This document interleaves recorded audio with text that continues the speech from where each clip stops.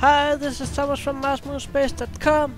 I have an update for you on Mars Orbiter Anomaly number 1, aka known as the Jupiter 2 UFO found by my good friend Brad Collins Shepard. Because today you will see the first picture from Google Earth of the same anomaly. You have it in the background here. This is the same area, this is the same place on Google Earth with a little bit help from my good friend Neville Thompson. What are we looking at here? Because I don't directly see the Jupiter 2 UFO. Did NASA remove it? What happened to it? We know the Google Earth uses lower resolution image than the one you can download from NASA. I'm gonna talk to Brad on a little bit noisy line on Skype, so let's call him and hear what he has to say about this one. I have with me on Skype today Brad Collins Shepard. You all know Brad. Brad was uh, the one that found the uh, fantastic find uh, of what has been described as the Jupiter 2 UFO on, on the MOC uh, Mars Orbiter Camera image. That is an awesome image and I was looking at Google Earth and found the area on Google Earth, the Mars version, on Mars of course, where this Jupiter 2 UFO was at the MOC image from NASA. And guess what? There was no Jupiter 2 on the low resolution image that was used to the Google Mars version. Hello Brad, welcome. Hello, nice to be here. It's always good to have you here. Yeah, There's a little noise uh, on, on the line here, but uh, I hope we all survive that.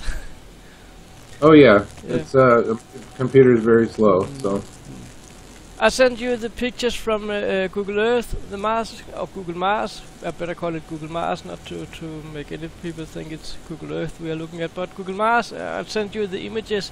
What do you think of those images? um, well, uh, the um, uh, Google Google Earth and Google Moon and Google Mars have a have a certain um, way that style that they do images, and they're sort of layered in different um, pixel layers. And um, in order to fit that image into their little program, um, they they really lower the resolution drastically. Um, that's one thing that they do to get it to their program. Um, they can't use like high resolution. It's already a poor platform, you know, for anomalies or something like that. It is thing that um, that the software itself saw it as as an anomaly because it's it's obfuscated. So uh, it makes sense even to the computer when um, they transferred the zeros and ones from one side to the other. So the, the computer actually saw it as an anomaly, and it, it op- automatically obfuscated it because it wasn't supposed to be there. You know, that's that's one explanation. Um, that you know it, it's it's just um, simply kind of messed up because of the software that they used. Um, But but but, but, we know that uh, the picture where where you found the Jupiter 2 UFO was a high resolution image from the Mars Yes. orbiter camera. yes, and that is still there. That that one there, is still yes. there. So Yes. so you know NASA they don't have an interest in covering that up No. so far. No. You know, so that's nice. we can still go in. I was in there looking at it yesterday here, and it's, uh, yes, it is still there on on, on NASA's side. yeah, but it didn't fly away yet. Yeah, it's still there. but that would mean that, that the picture we could trust would be the high resolution MOC uh, image that we also put linked up to to on, on, on the page where we Yeah. showed you It's the It's basically a, what I what I would call a time anomaly because it the picture was taken back in the '60s, you know, so it, it's it was there at that time, mm. you know, so it's sort of a time anomaly, and um, who knows what's there now, you know, could be a city or something, you know, for all we know. My, Um, my my first thought w- w- when I saw the Google Earth, uh, Google Mars picture of the same area, uh, and I couldn't find the Jupiter 2 UFO, I, if you look at the image, I'm, I'm sitting and looking at it here. I see what what looks like a site where there once was something that's gone now.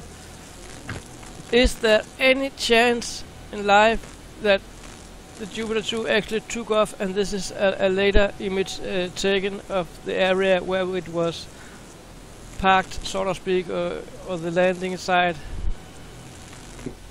Yeah, That that is the ability that it's not an obfuscation pixels and and that is a change in a little particular area. That that's always a possibility. Absolutely.